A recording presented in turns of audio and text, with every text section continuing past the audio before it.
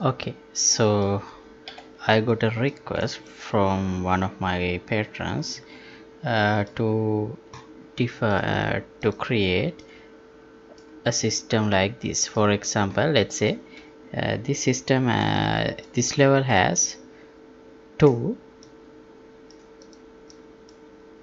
um, yeah this has two uh, fences like this and then what he wanted to do is like if I change if I have to do let's say if this is a huge open world game and there can be hundreds of fences the same fence uh, hundreds of instances of the same fence throughout the world uh, around different farmlands. So what he wanted to do is he needed a single place where he can modify the attributes of these fence meshes.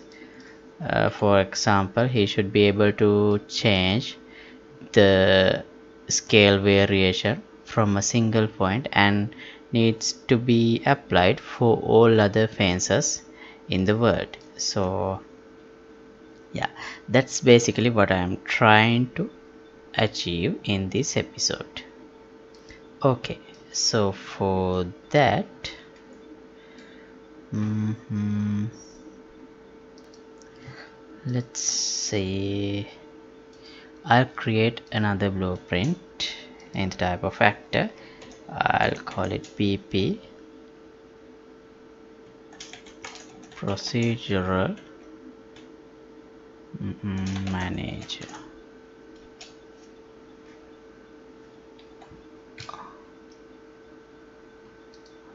is that a good name. Okay it's alright and there I'll define a variable. Let's call it um, procedural elements. Okay it should be in the type of procedural element. And also it should be a an array public. And I'll place one instance of this here. Right. Now there I'll add an element like this. Now let's add a fence. Wait not fence uh, maybe yeah this one.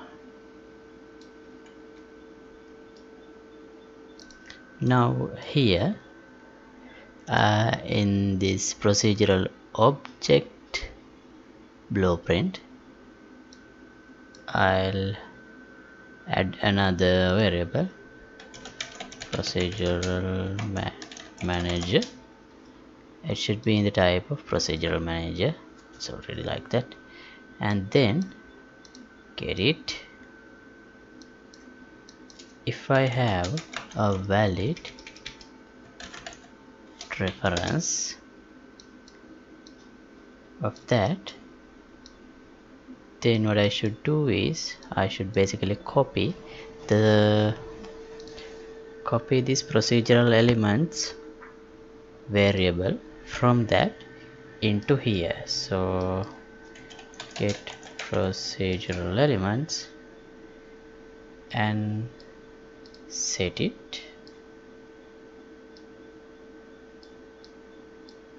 Then continue. Okay. So now this should be public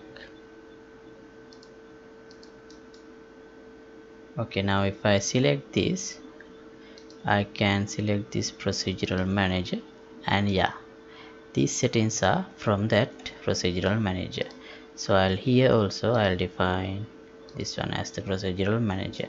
Now I'll select the procedural manager. And let's see what happens if I change it. Change some value. I'll add a rotation offset around x-axis 90 degrees. Nothing happened. But if I reload the level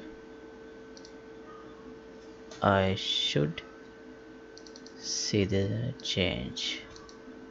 Yeah of course.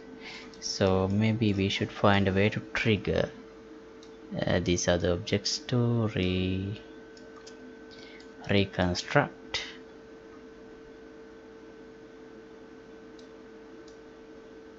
Okay so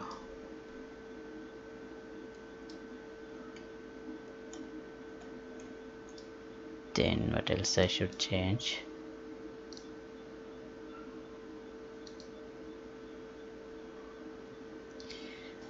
this should be less.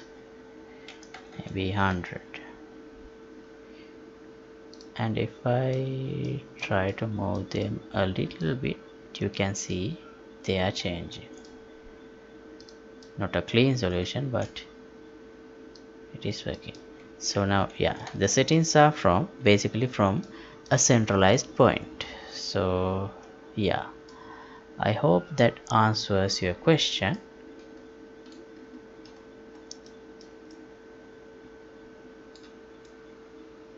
mm, so how else I can make this more advanced?